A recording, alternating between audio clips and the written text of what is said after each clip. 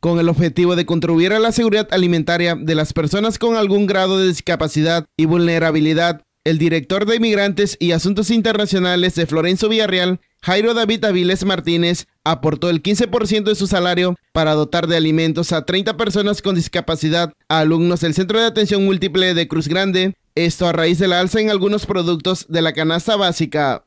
Eh, debido al aumento de los energéticos en, el país, eh, surge la idea de donar el 15% de nuestro salario eh, con todo el esfuerzo y con toda la humildad a los sectores más vulnerables de nuestro municipio con la firme intención de que funcionarios de el más alto nivel también pudiera llegar a sus corazones este tipo de mensajes y, y teniendo la claridad de que si uno puede, pues también ellos se sumen a este proyecto. Jairo David Aviles Martínez precisó que estos apoyos continuarán para contribuir con la economía de estas familias, las cuales realizan esfuerzos muy grandes para que sus hijos acudan a una escuela especial.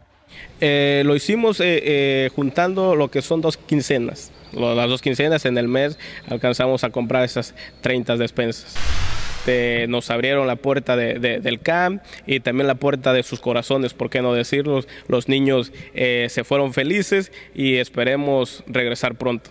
Madres de familia mencionaron que estos apoyos alimentarios es la primera vez que se le otorga este tipo de ayuda por parte de una dirección municipal. Víctor Manzanares, Romualdo, Radio y Televisión de Guerrero.